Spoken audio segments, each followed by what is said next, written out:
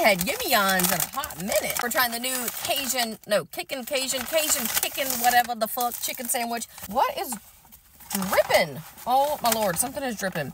Also, they have sides I didn't even know they had. Ah!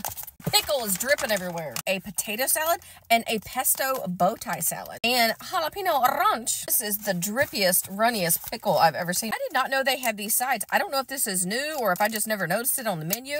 So we got the home style potato salad. It's okay. It's a sweet potato salad. Not sweet potato, but a potato salad that is sweet. I don't think I know too many people who make um, and eat potato salad the way I grew up having it. It's not sweet at all. There's no sugar. If anything, it's like salty, mayonnaisey, mustardy, pickly, oniony. Nothing wrong with this. It's okay, but it's definitely what we grew up calling white people potato salad. Not that there's anything wrong with that, so let's not go crazy about it, okay, guys? It's all right. All right, now we got the pesto bow tie salad. This was a dollar thirty. Mmm, okay. Wow, that's super good. Very pesto-y. It doesn't taste like, it might not be fresh pesto, but it doesn't taste like fake, like nasty jarred pesto either.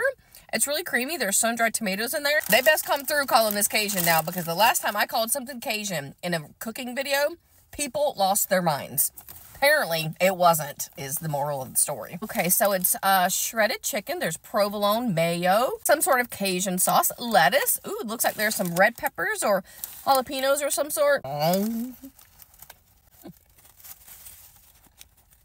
I finally got a bite of that like pickled jalapeno and that was really good. That has a lot of flavor, but in a weird way, it's kind of bland. Like it just tastes like the chicken has like no flavor.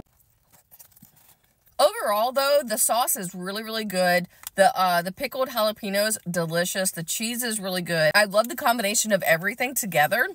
It's just that chicken is so boring. Like, you could just tell the chicken's really bland. I'm surprised by these pasta salads. These are both really good. If you like a sweet potato salad a potato salad that is sweet.